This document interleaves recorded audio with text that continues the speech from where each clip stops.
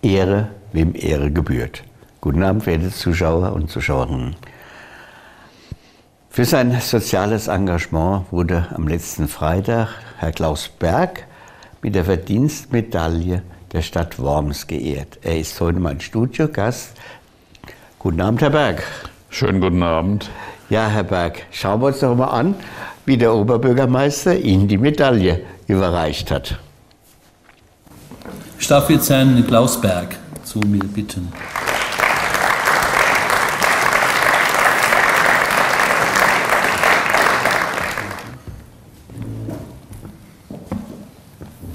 Für sein über Jahrzehnte währendes, vielfältiges, ehrenamtliches Engagement zum Wohl der Gemeinschaft wird heute Herr Klaus Berg mit der Verdienstmedaille der Stadt Worms ausgezeichnet. Geboren in Worms studierte der ausgebildete Elektroinstallateur in Bingen und München Berufspädagogik und kehrte 1966 in seiner Heimatstadt Worms zurück, wo er nach Tätigkeiten als Fachlehrer am Studienseminar in Speyer und als Schulleiter an der berufsbildenden Schule Technik 2 Ludwigshafen 1994 die Schulleiterstelle an der berufsbildenden Schule in Worms übernahm.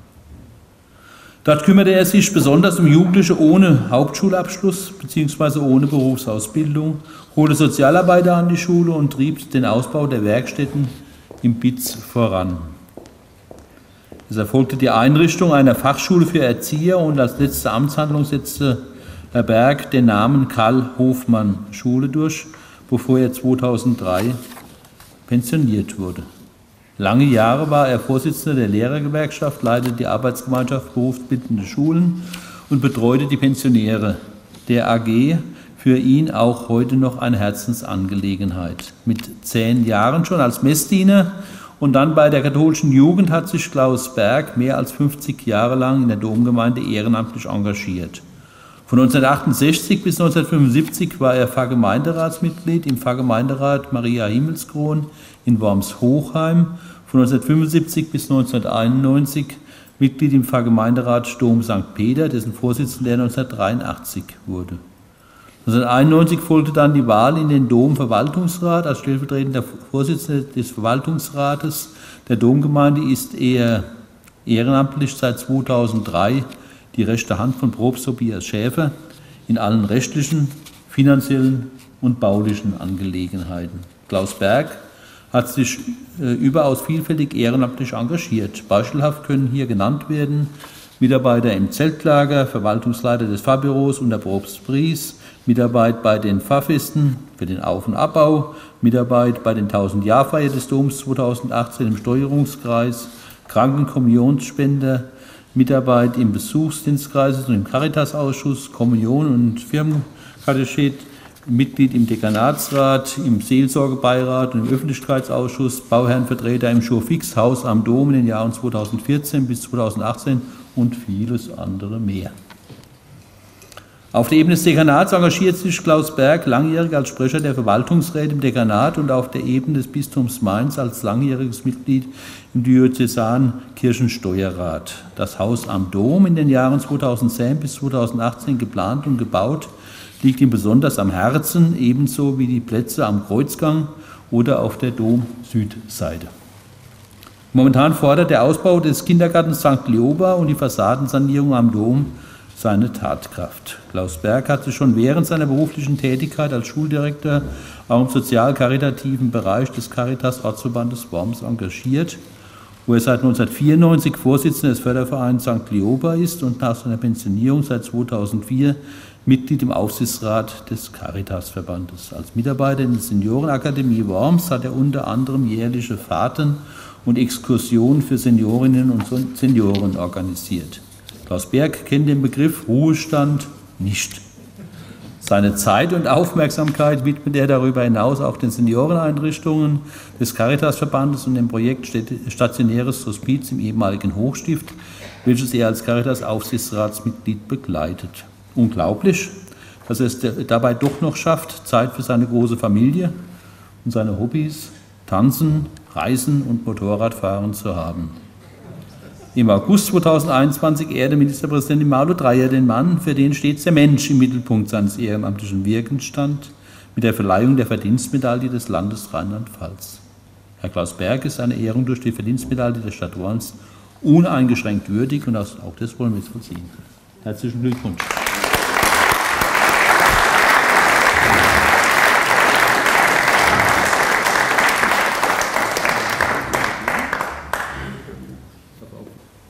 Verleihungsurkunde zur Verdienstmedaille, Anerkennung der um die Stadt Worms und ihre Mitbürgerinnen und Mitbürger erworbenen besonderen Verdienste wird mit Zustimmung des Ältestenrates, Herr Klaus Berg, die Verdienstmedaille der Stadt Worms verliehen mit heutigem Datum und meiner Vielen Dank.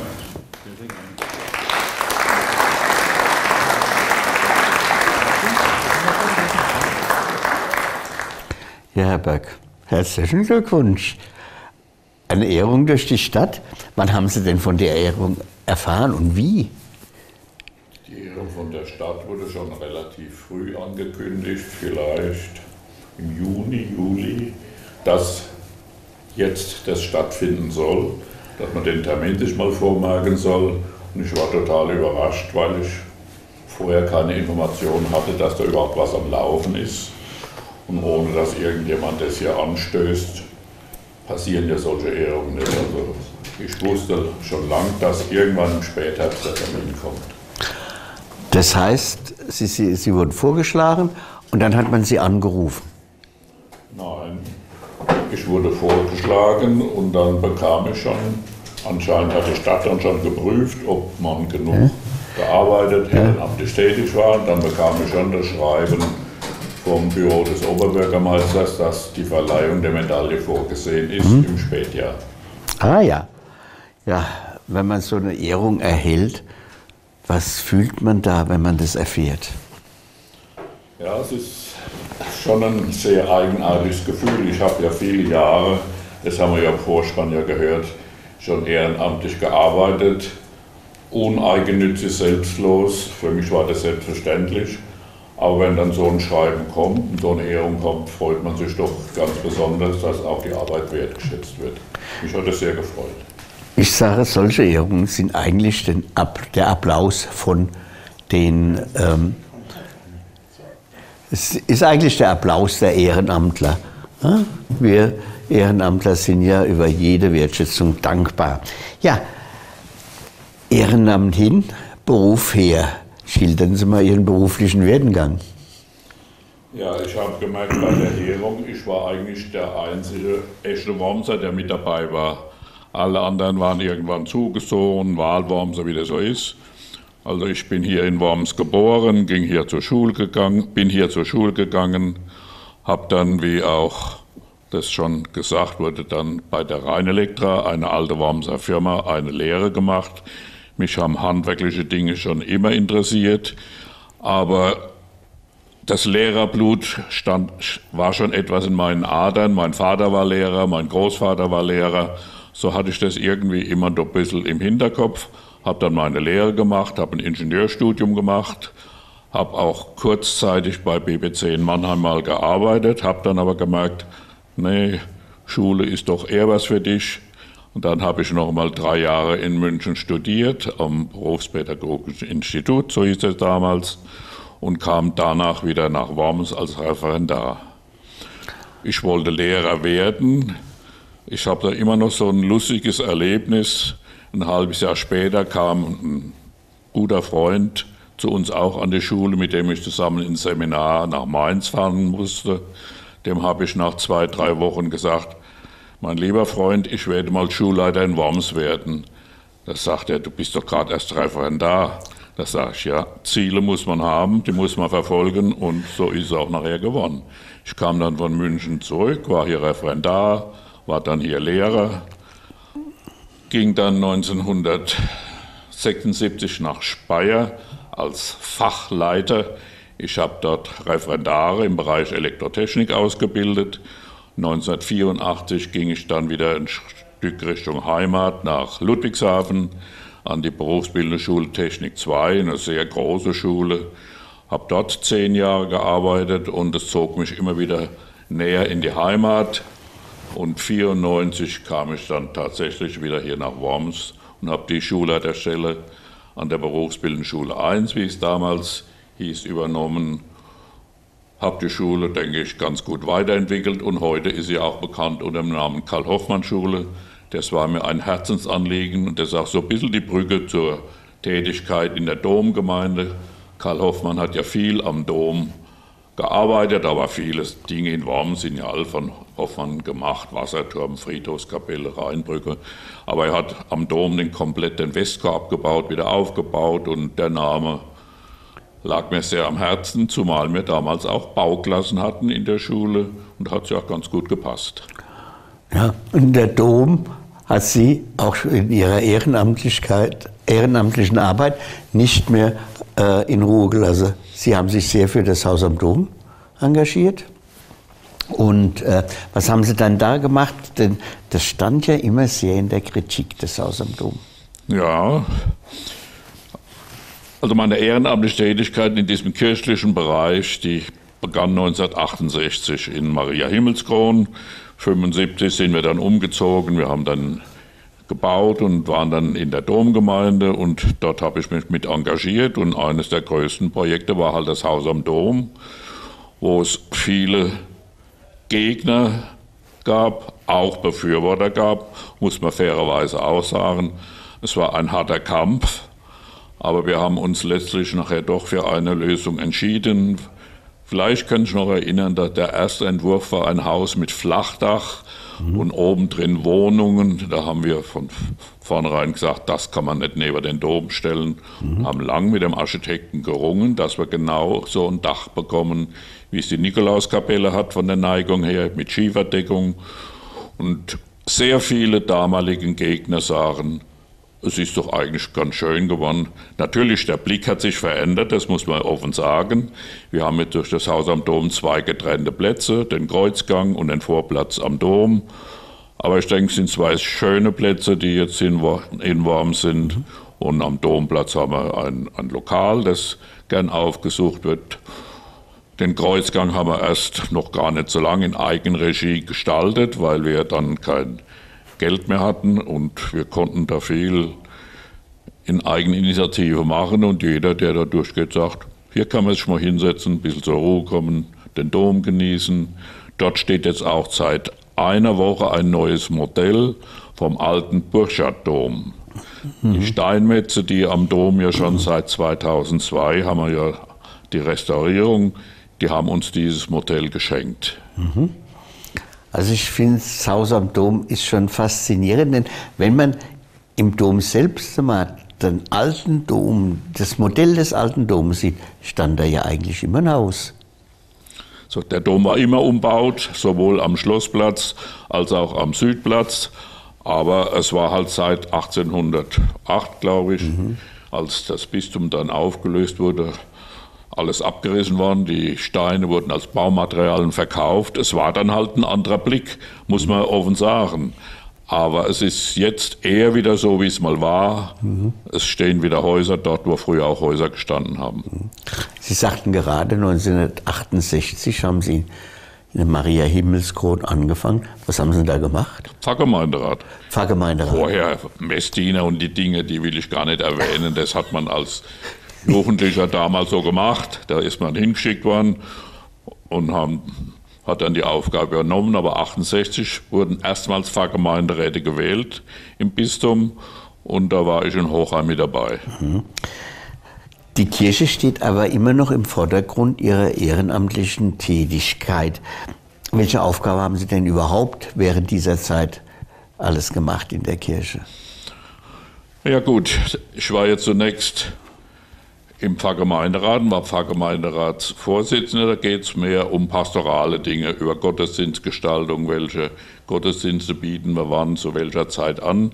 Also waren mehr diese Inhalte. Aber seit ich dann 92 in den Verwaltungsrat ging, ging es dann mehr um Bau, finanzielle Dinge, um das Geld, um Haus am Dom und das war natürlich eine Sache, die hat sehr viel Zeit gekostet war mit viel Ärger verbunden, aber es gab dann auch wieder sehr angenehme Zeiten, wenn ich an das Jubiläumsjahr denke, 18, wo wir fünf neue Glocken bekamen.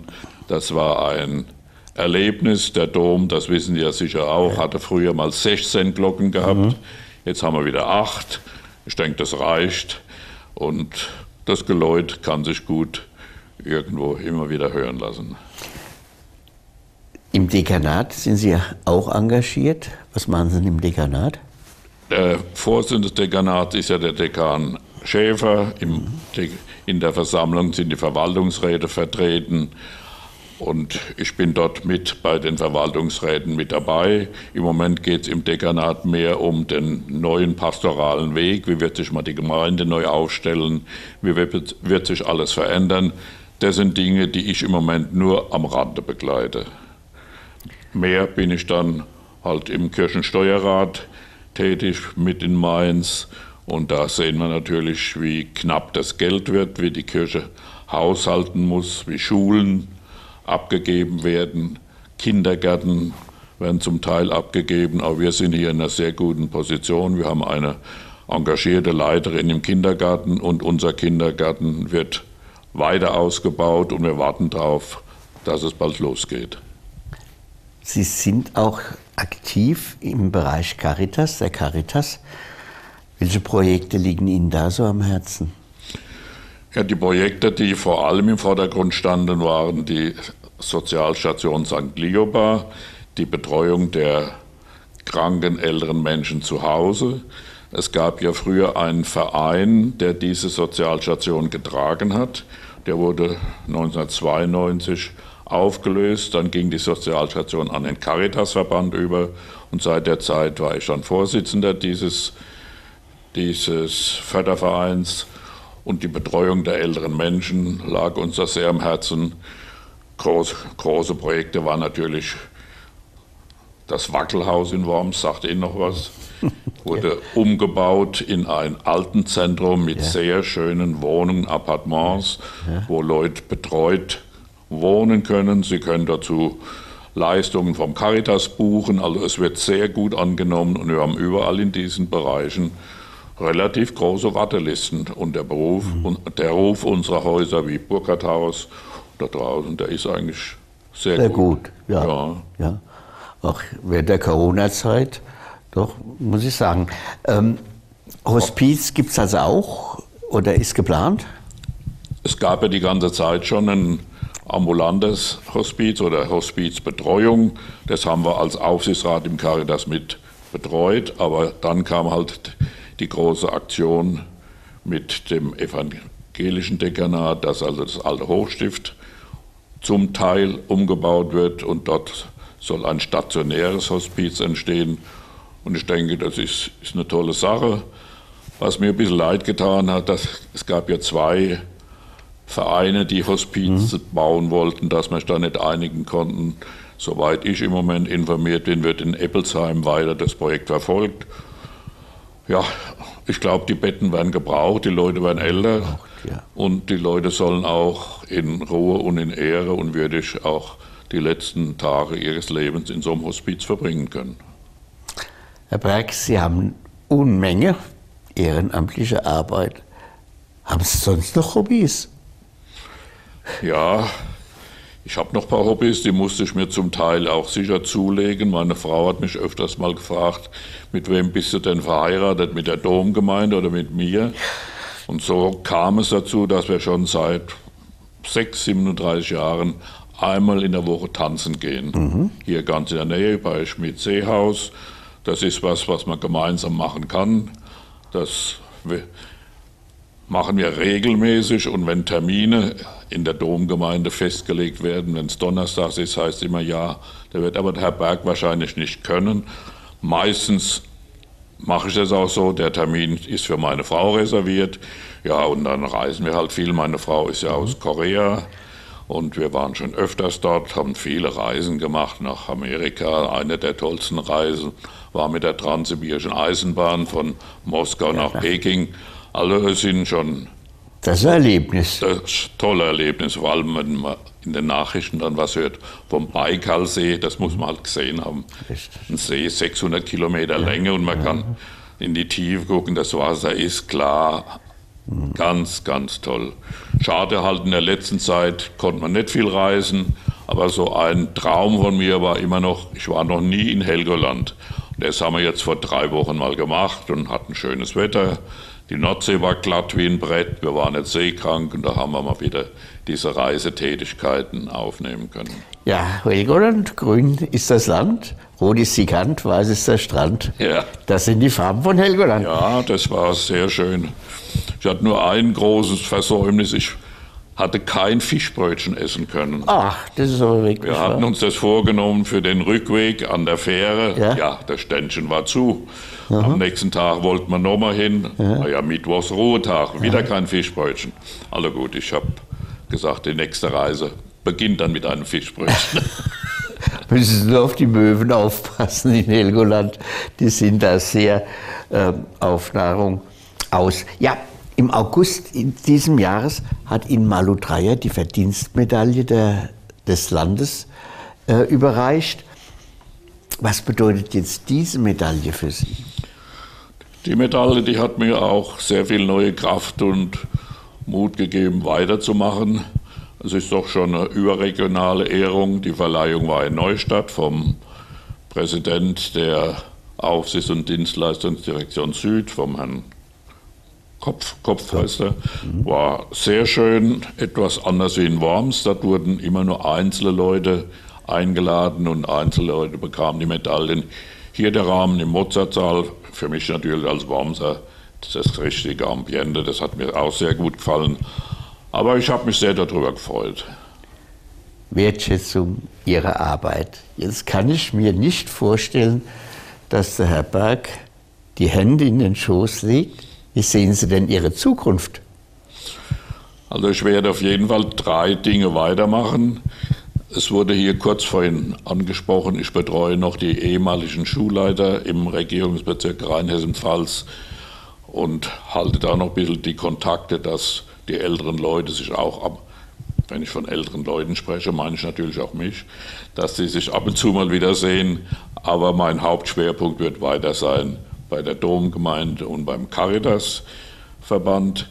Wir sind ja mit der Dom-Außenrestaurierung noch lang nicht fertig. Wir haben 2002 begonnen und gerade gestern oder vorgestern war ein Bericht. Wir hoffen, dass wir bis 2030 in dieser Gegend irgendwann mal fertig werden. Wir müssen die ganze Südseite noch machen, haben zum Glück da auch Bundesmittel zugesagt bekommen, sodass dort jetzt Zug um Zug es weitergehen kann. Es sind zwar relativ komplizierte Antragsverfahren, aber wir haben da kompetente Leute, die werden es machen und würde mich freuen, wenn wir dann fertig sind, könnte man eigentlich gerade vorne wieder anfangen. so ist es bei den alten Ja. Bauwerken. Richtig, stimmt. Herr Berg, dazu wünsche ich Ihnen viel, viel Erfolg, vor allem viel Gesundheit, eine stabile Gesundheit und darf mich recht herzlich bei Ihnen bedanken, dass Sie heute als Verdienstmedaillenträger der Stadt bei uns waren. Dankeschön. Ich bedanke mich auch für die Einladung, hat mich sehr gefreut.